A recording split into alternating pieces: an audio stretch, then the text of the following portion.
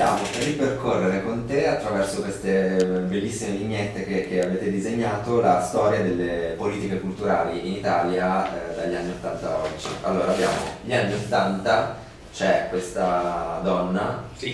che si chiama Cultura con eh, un uomo che è l'economia che gli porge un fiore. Sì, sì, sì. Dunque, vignette preparate da Marcello Minuti ci tengo perché, perché nonostante noto come economista, cultura in realtà c'ha un sogno nascosto che era fare il vignettista.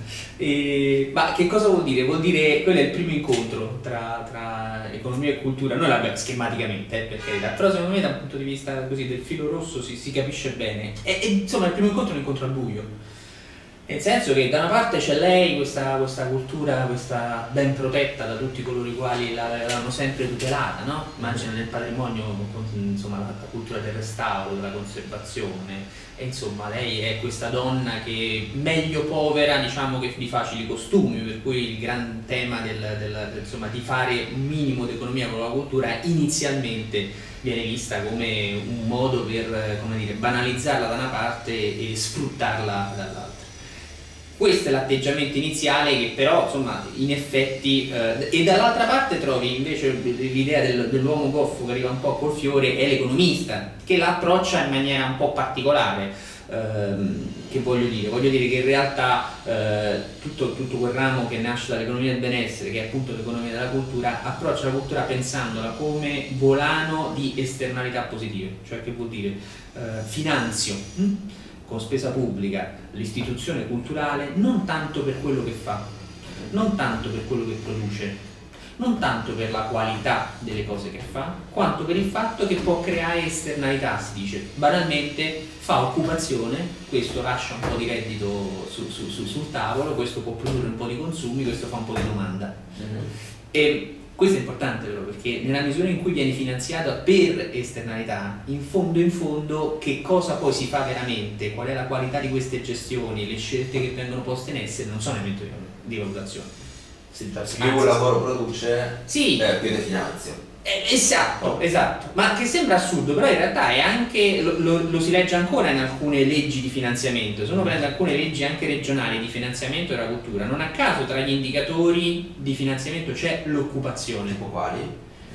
Regione Sardegna, per esempio, fino a un po' di tempo fa, c'aveva, noi abbiamo fatto un lavoro all'inizio anni 2000, c'aveva eh, nella legge 4 proprio, aveva mh, nel finanziamento delle cooperative che avrebbero dovuto gestire i servizi culturali, uno dei driver, uno dei criteri base era il, il numero di occupati. Ora, questo è un tema importante, ti dice che cosa? Ti dice che lo faccio per fare occupazione in parte, perché se vado con logica di quella che dovrebbe essere economia e gestione di quel servizio, in un posto come la Sardegna, con stagionalità fortissime, qual è il risultato? Che se io standardizzo con 20 persone persona- di personale, durante l'inverno probabilmente giocano a carte durante l'estate devo prendere a nero altri 40 perché non ce la faccio col picco. Cioè significa aver in- non finanziato imprese, ma scelto certi tipi eh, eh, di oggetti da finanziare per altre aspettative.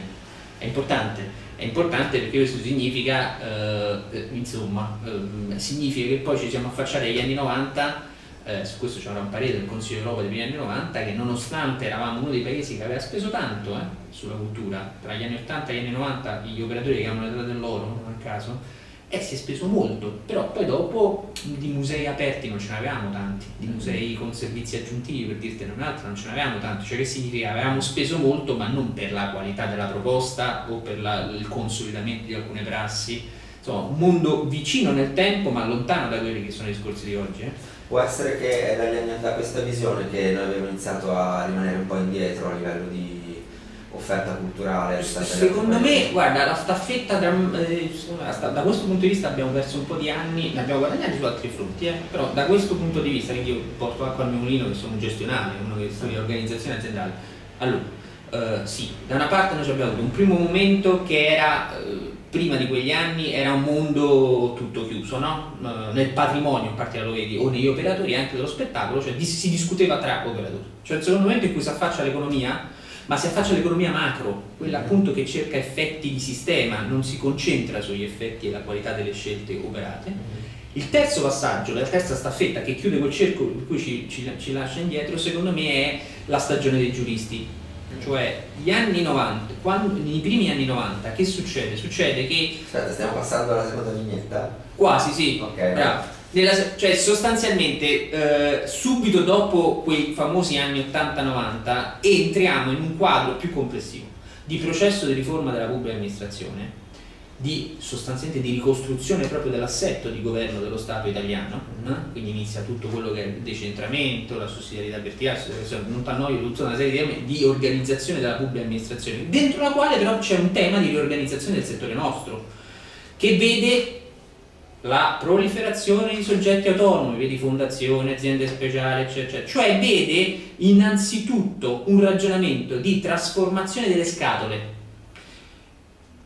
si è scambiata la trasformazione delle scatole con l'innovazione. Uh-huh. Ho cambiato i vestiti, guarda, sugli enti lirici questo è facilissimo, ho, l'ho, l'ho trasformato gli enti pubblici non economici a fondazioni e quindi, e quindi punto perché lo trasforma da enti lirici a, a fondazioni. Cioè, ma, ma, sempre ma, soldi pubblici sono. A, mm. ma B, questo non significa aver trasformato la modalità di gestire quella cosa. Una delle aspettative era la raccolta fondi e la capacità di far entrare privati dentro questi sì. soggetti. Dici, a un certo punto ci siamo accorti, eh, però non fanno grande fundraising, ma se tu vai via dal vestito e guardi le competenze interne, l'organizzazione interna, gli organigrammi che ci avevi quando era ente pubblico non economico, con l'organigramma, cioè ruoli, competenze e responsabilità che c'hai dopo che è diventata fondazione è lo stesso. E allora non è che se cambio vestito automaticamente per spirito divino arrivano i soldi, forse è più un problema di competenze. Quindi, e manca anche la famosa valutazione di cui parliamo certo, in un certo, altro momento. Per cui tu a un certo punto, qui ancora la valutazione non è un, è un non problema. Eh? Eh? Per assurdo tu, sia nella prima fase, sia nella seconda quella degli economisti, sia nella terza che è quella dei giuristi, adesso dico però oggettivamente il tema della valutazione della performance, valutazione delle scelte, valutazione dell'azienda culturale, dell'organizzazione culturale è un non problema, perché non la guardo come organizzazione, per cui non la valuto come organizzazione.